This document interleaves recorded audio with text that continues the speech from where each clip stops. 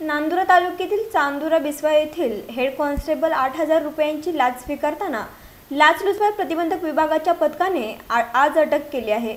नांदुरा तालुक्यातील चांदूर बिस्वा येथील head constable Devidas Rambhau Bagade याने एका प्रकरणात कोणत्याही प्रकारची कारवाई न करण्यासाठी आठ हजार रुपयांची मागणी करत असल्याची तक्रार बावीस मे रोजी दाखल करण्यात आली होती. या तक्रारीच्या अनुषंगाने लाचलुचपत प्रतिबंधक विभागाच्या पथकाने सापळा रचला असता बगाडे यांनी पंचासमक्ष आठ हजार रुपयांची लाच स्वीकारली असता त्यावेळी लाचलुचपत प्रतिबंधक विभागाच्या पथकाने बगाडे यांना ताब्यात घेतले. सहा मे रोजी देवीदास बगाडे हा स्वतःची जागा दुसऱ्याच्या नावावर करण्यासाठी व बांधकाम थांबविण्यासाठी धमकावित असल्याचा व पैशाची मागणी करत असल्याची लेखी तक्रार पोलीस निरीक्षक नांदोरा यांच्यासह वरिष्ठ पोलीस अधिकाऱ्यांना दिली दिली होती.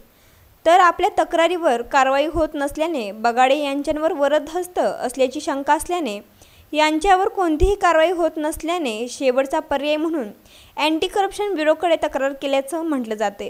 तक्रारदार शांताराम पांडे हे आमच्याकडे हजर आले आणि त्यांनी आमच्याकडे तक्रार नोंदवली की चांदूर बिस्वा बीट येथील जमादार श्री बगाडे हे माझ्या पत्नीवर कुठल्याही प्रकारची कारवाई न करण्यासाठी तीन हजार रुपये आणि प्लस दारूच्या व्यवसायाचे राहिलेले पाच हजार रुपये घेऊन या असे मला वारंवार फोनद्वारे सांगत आहेत. निरोप पाठवत आहे.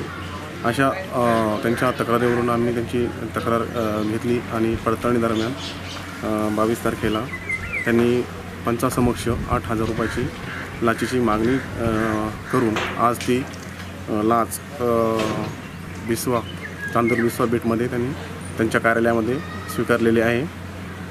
सदरचा तपास चालू आहे. सदरची कारवाई ही आम्ही पोलीस अधीक्षक श्री चिमटे साहेब additional S P Chetna Tidke madam आणि आमचे डी एस पी जाधव साहेब यांच्या मार्गदर्शनाखाली माझ्या स्टाफसह मी करत आहे. Vijaykumar Verma seven star news Malkapur.